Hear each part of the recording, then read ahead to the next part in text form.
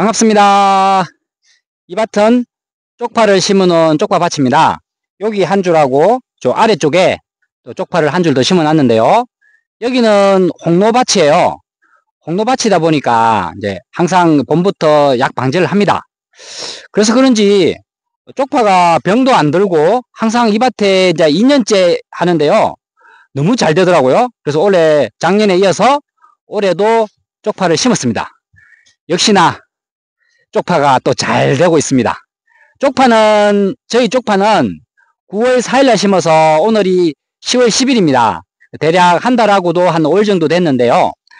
어, 제가 저번 영상 시간에 어, 쪽파 병해충 관리에 대해서 말씀드리면서 뿌리 영해, 이게 고자리파리, 쪽파도 오면은 벌레가 생길 수가 있어요. 그리고 올해는 날씨가 워낙 덥다 보니까 벌레들이 좀 서식하기 좋은 그런 환경이었습니다.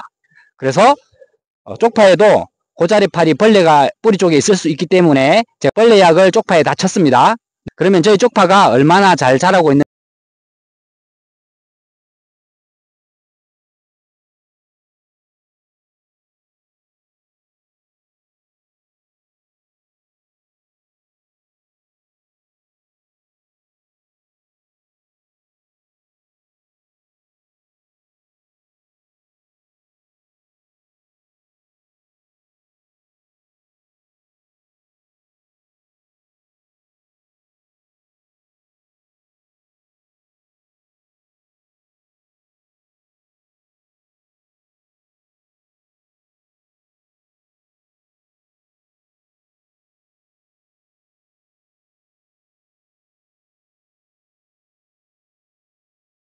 자라고 있죠. 이 밭에 있는 쪽파는 두 줄을 심어 놨는데요. 올 가을에 파김치도 해 먹고 또 김장할 때 그 양념으로 들어가는 그런 쪽파입니다. 올 가을이 되면 다 먹을 거예요. 쪽파를 심기 전에는 어, 탭이라든가 그리고 뭐 복합비료 이런 영양제들이 들어갔지만 시간이 지나면 아무래도 영양분은 항상 뭐 비에 의해서 뭐 이래저래 해서 영양분이 빠지게 되어 있습니다. 그래서 오늘은 제가 영양제를 다 쳤는데요. 뭐 영양제 해봤자 뭐 거창한 건 아니에요. 저는 쪽파에 이제 칼슘 비료를 주는데요. 어, 칼슘 비료도 종류가 많습니다.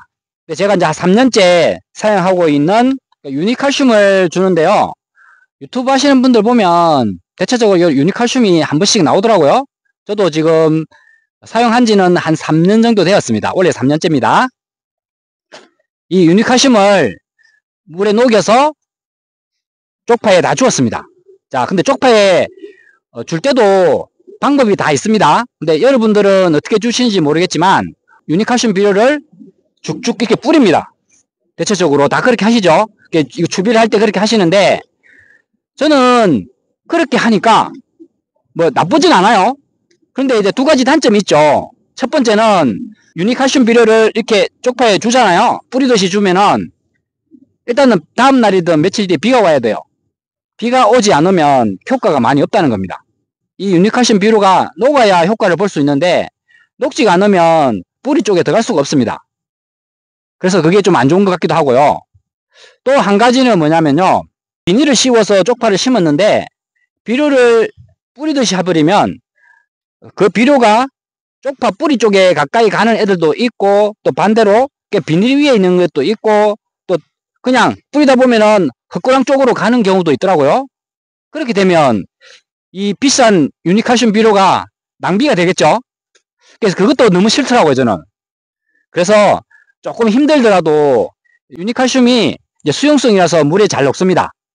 그래서 저는 항상 물에 녹여가지고 조금 귀찮더라도 좀 무겁긴 해요. 뿌리 쪽에 물비료로 해서 가까이 주고 있습니다. 그렇게 주니까 효과도 빠른 것 같고 또 쪽파가 크는 데는 많은 도움이 되는 것 같더라고요. 그래서 저는 항상 조금 힘들고 귀찮더라도 이 유니칼슘 비료를 물에 녹여서 나리온 충전 분무기가 있습니다. 여기에 녹여가지고 주고 있습니다. 여러분들도 뭐 이런 방법을 모르셨다면 저처럼 해보는 것도 좋을 것 같아요. 그러면 이 유니칼슘 비료를 녹여서 주고 싶은데 양은 어떻게 해야 되는지 궁금하실 겁니다. 저는 3년째 지금 농사를 계속 짓다 보니까 어느 정도 이제 작물에 따라 양을 얼마 정도 타야 되는지 약간 답이 나오더라고요. 뭐 100% 정답은 아니에요. 저만의 정답입니다. 분무기 같은 경우는 보통 물이 20리터가 들어갑니다.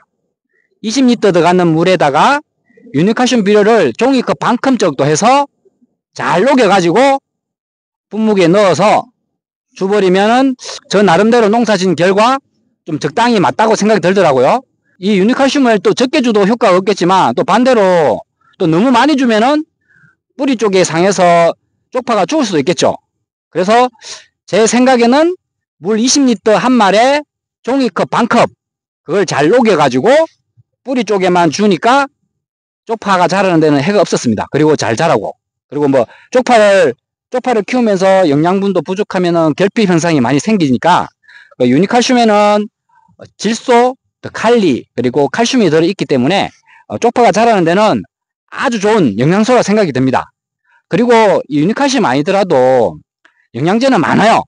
근데 저는 이거 사고 저거 사고 이렇게 못 하겠더라고요. 사실 돈도 많이 들어가지만 또 나름대로 공부를 해야 되고 경험을 쌓아야 되기 때문에 확실하게 제가 농사를 지면서 경험을 했던 또 그리고 결과도 좋았던 그걸 여러분들한테 알려드리는 거니까 뭐 다른 제품을 사서 하시는 것도 나쁘진 않지만 어 제가 하는 방법대로 해도 쪽파를 키우는 데는 큰 문제가 없을 거라고 생각이 들기 때문에 오늘 영상을 준비했습니다.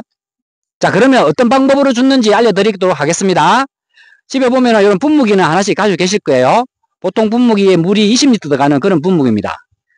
그리고 약대에 보면은 이렇게 노즐이 꽂혀 있습니다. 이렇게 노즐이 꽂혀 있는데 이렇게 노즐을 빼버리고 그리고 약대 요걸로 해서 주는 겁니다. 뿌리 쪽에만 왔다 갔다 하면서 물을 그냥 듬뿍 주지는 마시고요. 그냥 쫄쫄쫄 하면서 주시면 돼요. 그렇게 하니까 쪽파가 자라는 데는 문제도 없고 뭐 해를 입지도 않고 잘 자라더라고요. 저는 이렇게 이제 나름대로 이때까지 농사 지면서 조금 터득한 방법으로 해서 이렇게 주고 있습니다. 또 아, 이런 거 하기 싫다 하시는 분들은 그 유니칼슘을 한 주먹 주셔가지고 어, 쪽파 위에다가 이렇게 뿌리셔도 돼요. 근데 아까 말씀드린 대로 좀 낭비라든가 또 제대로 뿌리 쪽에 비료가 안 가는 경우도 생기기 때문에 그거는 조금 여러분들이 주의해서 하시면 좋겠습니다. 오늘 말씀드린 영상은 쪽파에 필요한 영양분을 지금 시기에 줘야 된다고 생각이 들거든요. 그래서 영양제를 줄 때 뭐 종류가 많습니다. 저도 뭐 다 몰라요. 근데 이 유니칼슘을 제가 한 년마다 주었더니 어, 병도 없고 잘 자라더라고요. 그래서 여러분들이 이 유니칼슘이 있다면 녹여서 아까 말씀드린 대로 얼마를 녹여서 이렇게 이런 식으로 해주라 말씀을 드렸다시피 그렇게 주면 한 번 정도만 주세요. 그러면 쪽파가 잘 클 거라고 생각이 듭니다. 그래서 오늘 영상은 어, 영양제를 따로 사지 마시고 이런 비료가 있으면 주라고 말씀드리기 위해서 오늘 영상을 준비했습니다. 자 오늘 영상은 이걸로 끝낼게요. 다음 영상 시간에 쪽파가 또 얼마나 잘 자라고 잘 크고 있는지 그것도 한번 보여드리도록 하겠습니다. 다음 영상 시간에 찾아뵙겠습니다. 감사합니다.